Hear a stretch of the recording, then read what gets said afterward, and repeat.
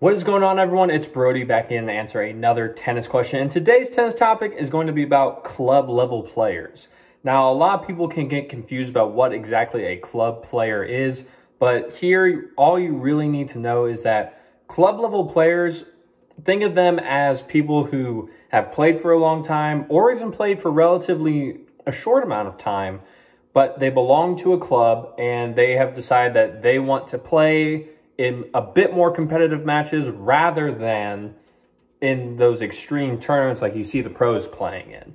So a lot of club level players, they have played for a few years or they they played for a few years, they took a break and then they came back to the sport and they're both looking to both play recreationally as well as just play a bit more competitively because they love the game and they just really want something to do that's going to light that competitive fire up in them again in a sport that they love throughout most of their life. So club level players, they have this all around type capability. You have some, and a lot of people will use a rating system for what the different levels of tennis are. You have some that range from like 3.5, sometimes a 3, which is pretty basic for a fully grown adult, and you're just starting into tennis, all the way up to 4.5 to 5.0s, and maybe even a 5.5. Now, this system is based off a off of a 1 to a 7.0, so there's a lot of discrepancy here and in between. That's where you can really find your specific level so you're that so that you're playing with people that are around your same skill level and you're not just excuse me, you're not just playing against someone who just started tennis if you've been playing for 10, 15 years and you absolutely demolish them, take making it so that they never want to play tennis again. That's not fun. And we don't want to do that. We want everyone to enjoy playing tennis because it's the greatest sport of all time. There you go. I said it. Yeah, you can quote me on that. So with club level players, you can usually expect that most of the time you're going to get pretty good competition. Some of the people, they will have a bit more tactics that you won't really ever see. So playing against multiple different players that all belong to the same club, it's one of the greatest opportunities because that will allow you to then go forward and play against a bunch of different skill sets that you've never tried out against. You learn how to play against lefties, people with right hand, right-handed forehands. You have a lot of slice. You have people with amazing kick serves. You have people with amazing power. You have people with the utmost precision. You have it all wrapped around into one. So you really can pick and choose based on who you want to play, based off what you're really looking for in your game. Now, a lot of the times club level players, they will also take personalized lessons at their club. That can be with the private coaches, which is usual, or sometimes even outside private coaches. I've had a few people that I've talked with that they were at their specific tennis club, and then they actually went to the Patrick Mouratoglou. Sorry if I mispronounced the name wrong, but it's always, for some reason, hard for me to pronounce they went to the Patrick Mouratoglou Academy out in out in Europe, and they actually went there to just learn even more, get better, because there was a little bit better coaching at that academy than where they were. So you're not you are not stuck at one club for the entirety of your life if you decide, oh, I'm going to sign up for that one over there. And then you realize later on, you're like, this wasn't necessarily the best choice for me. I don't feel like this is home. I don't feel like this is working with me. The coaches, I don't necessarily agree with everything. So you can try different clubs. There's nothing wrong with that.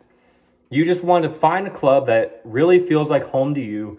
You have a good amount of people that you can talk with and have and can play with consistently and just make sure that you're having a fun time at the club most of the time, the clubs are there to not only facilitate tennis because they have indoor courts, outdoor courts, hard courts, clay courts usually.